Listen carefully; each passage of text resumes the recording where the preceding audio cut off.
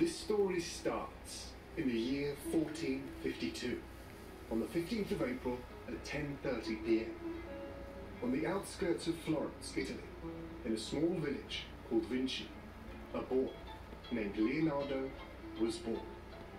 His father, Ser Piero, was a wealthy Florentine notary, and his mother a 14-year-old peasant girl named Caterina.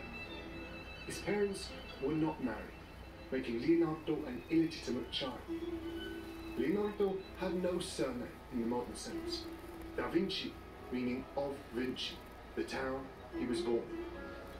Leonardo did not receive a formal school education, but the basics of reading, writing, and mathematics were taught to him by tutors. He reportedly struggled to read as a child, often getting distracted, abandoning tasks for the latest thing to catch his attention.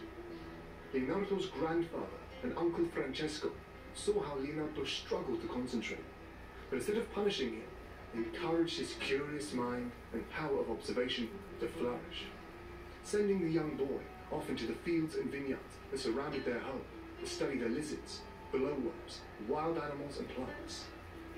We see this curious mind and power of observation that was developed here being the driving force behind so many of Leonardo da Vinci's great discoveries and inventions. Around 1464, Leonardo moved from the small town of Vinci, where he was born, to Florence with his dad. Had he been a legitimate child, Leonardo would have been expected to become a notary, just like his father was. But luckily for us, because of his illegitimacy, he was free to pursue whatever career his heart desired. And around this time, he started to show a real talent for art.